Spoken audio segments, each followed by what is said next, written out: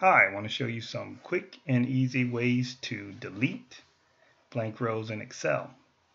So we have some data here and it has blank rows and it has one, two, three, four, five blank rows. Now of course that's not a lot so we can quickly go and, and right click the blank row and delete it. However, imagine if it's more than five, maybe it's 500 so we want to find a quick and easy way to leverage the tools and, that are already in Excel to help us clean the data. So first thing you want to do is make sure you're on the Home tab. Go over to Find and Select. But before we do that, we want to make sure that we have all our data highlighted.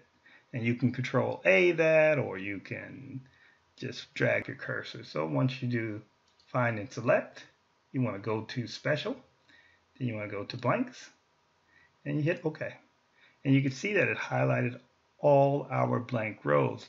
Now that we have that highlighted, we want to delete it. So in the same area under cells, you're going to go to delete and delete sheet rows. Boom, your data is all clean and there are no blank rows. Now there's another way to do this. Let's put the data back in the original format.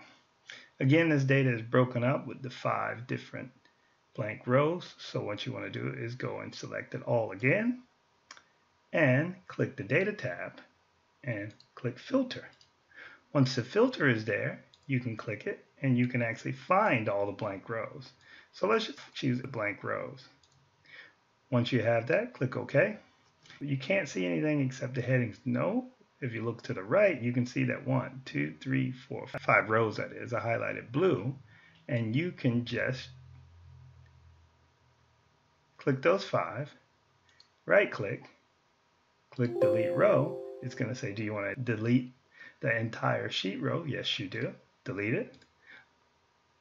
Now you want to unfilter it by selecting all. Boom, your data is back in, in a very good clean format. Those are two quick ways to remove blank rows in Excel. Hope that helped. Thank you.